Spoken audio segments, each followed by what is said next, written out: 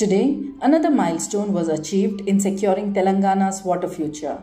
Segment 3 of Phase 3 in the J. Chokka Rao Devadula lift irrigation scheme was successfully commissioned, marking a significant step in transforming the state's irrigation and drinking water supply. At the core of this project is Asia's longest underground D-shaped irrigation tunnel spanning 49 kilometers and 5.6 meters in diameter, built with precision to transport water from the Ramappa tank in Mulugu district to Dharmasagar in Hanamkonda district. One of the largest 135 meter deep well type vertical surge pool with a 25 meter diameter and a pump house with a depth of 141 meters have also been constructed to support water pumping.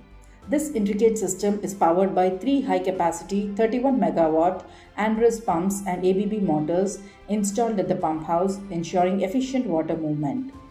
A 4 kilometer approach canal has also been constructed to enhance water flow into the tunnel.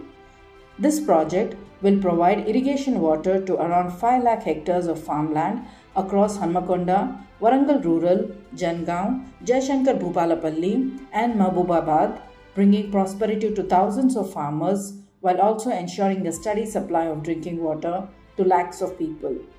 With innovation and engineering excellence, MEIL is proud to have executed this segment in this phase of the JCR Devadula project, playing a crucial role in strengthening Telangana's irrigation infrastructure and leaving a lasting impact on communities.